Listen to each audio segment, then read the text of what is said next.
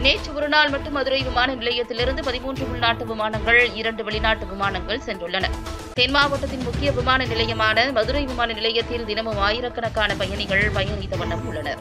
அந்த வகையில் நேற்றைய முன்தினம் மொத்தம் பதினான்கு உள்நாட்டு விமானங்களும் இரண்டு வெளிநாட்டு விமானங்களும் வந்துள்ளன. அதில் மொத்தம் ஆயிரத்து அறுநூற்று இருபத்தி நான்கு பயணிகள் வருகை தந்துள்ளனர். ஆயிரத்து தொள்ளாயிரத்து ஐம்பத்தி நான்கு பயணிகள் சென்றுள்ளனர். மேலும் நேற்று பதிமூன்று உள்நாட்டு விமானங்களும் கொழும்பு ஏர்லைன்ஸ் மற்றும் துபாய் விமானம் என இரண்டு வெளிநாட்டு விமானங்களும் வந்து சென்றுள்ளதாக விமான நிலைய அதிகாரிகள் தெரிவித்துள்ளனர். தொடர்ந்து குளிர்காலம் என்பதால் விமானங்களில் நேரம் மாற்றம் ஏற்படும் என்றும் தகவல்கள் வெளியாகியுள்ளன.